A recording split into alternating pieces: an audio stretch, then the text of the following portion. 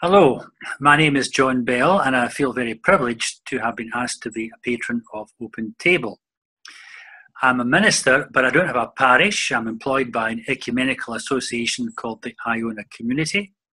My home's in Glasgow, but I work all over the world in churches and colleges and at conferences, sometimes on the issue of liturgy and sometimes in social justice.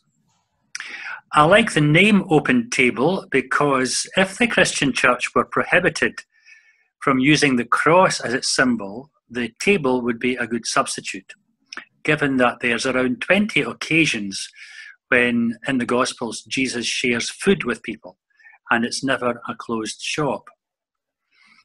I've known enough people, myself included, who have felt the censure of the church because of something they couldn't change their sexuality.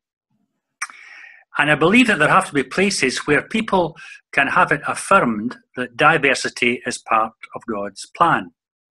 If it can happen in personality, physicality, mentality, then we should also allow for diversity in sexual orientation.